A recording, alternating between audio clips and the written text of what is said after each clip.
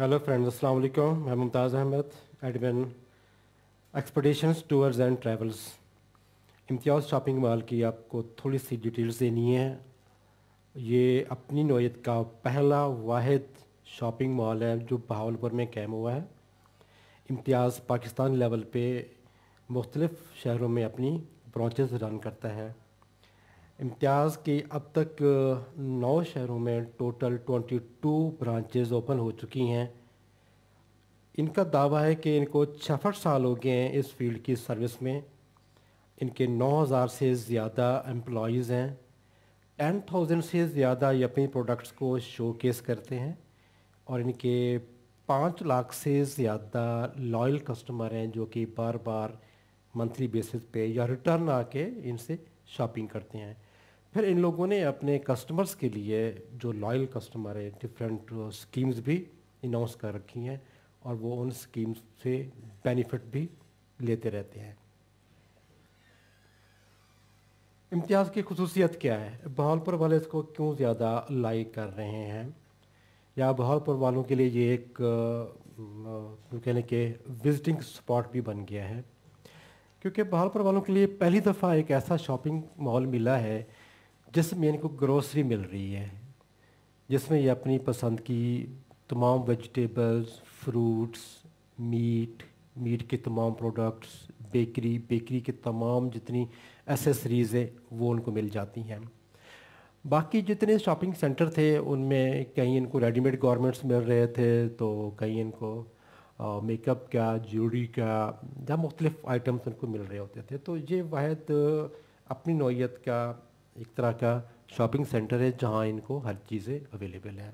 यही वजह कि यहाँ पर ख़ासा रश आपको देखने को मिला है। विंडो शॉपिंग तो हम लोग वैसे भी करते हैं। चाहे हम कहीं भी बाज़ार में जाएँ तो शॉपिंग ठीक है, लेट जाके करेंगे। सबसे पहले तो विंडो शॉपिंग ही होगी।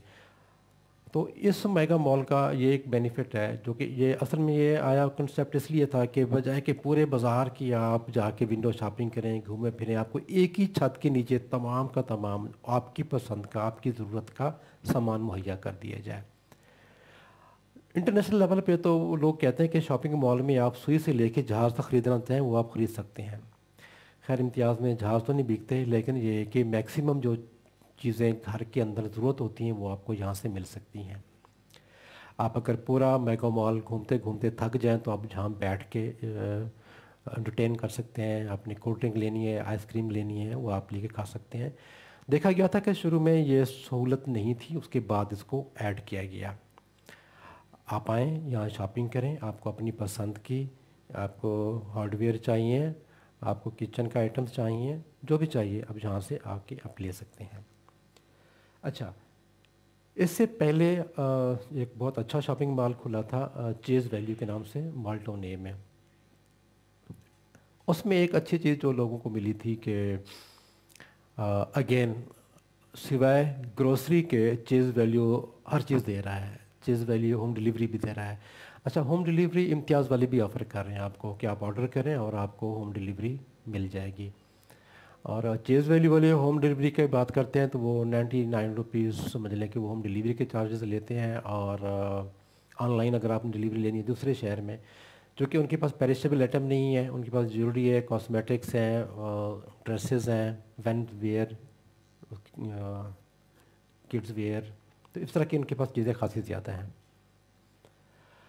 वहाँ एक अच्छी चीज़ थी जो हमारे लोगों के लिए नई थी, वो था एलिवेटर्स। तो लोग जाके विंडो शॉपिंग भी करते थे और एलिवेटर के झूठे भी लेते थे। बहुत से लोगों के लिए एक एडवेंचर से काम नहीं था।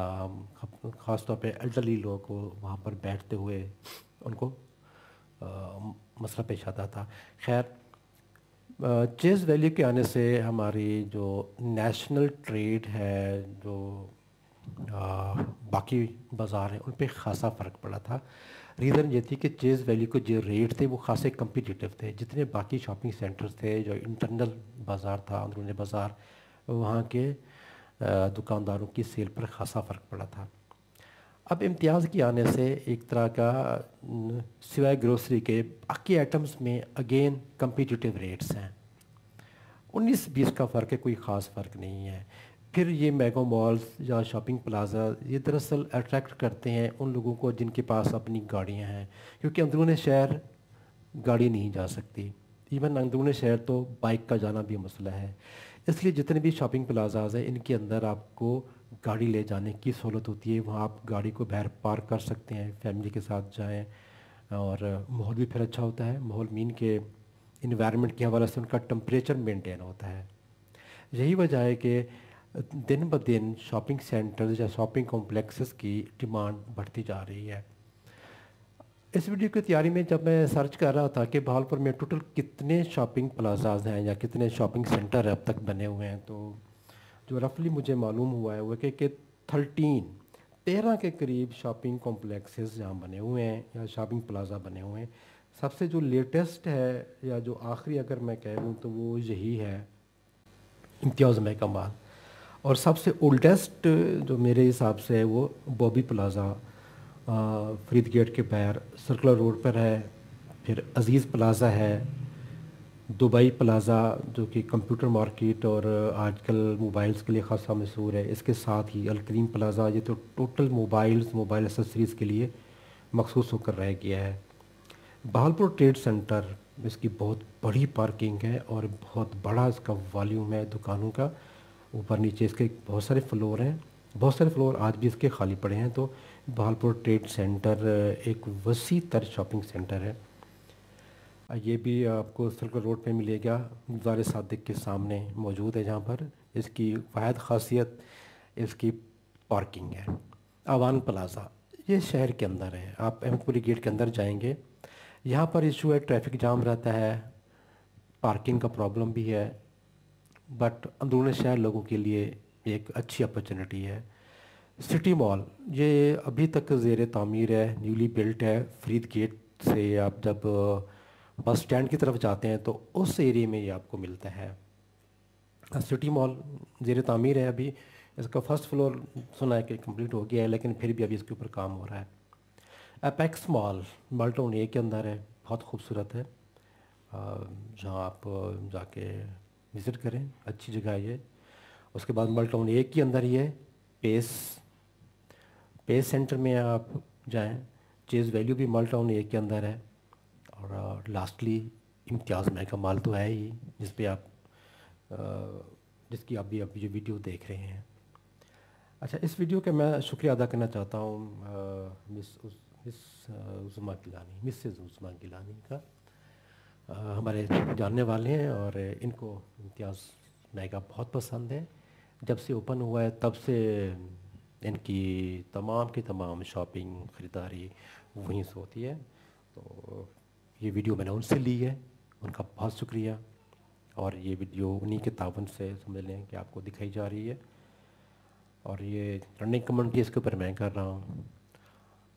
आप आएँ, देखें इसको। बाकी जितने भी शॉपिंग सेंटर्स हैं, उनको भी आप देखें नोट करें और इन्जॉय करें। Thank you very much